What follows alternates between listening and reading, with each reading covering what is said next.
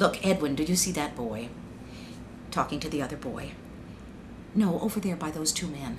Wait, don't look now. Now, look again. No, not the one in navy blue. That's the one he's talking to. Sure you see him? Striped pants. Well, he was born in Paris, France.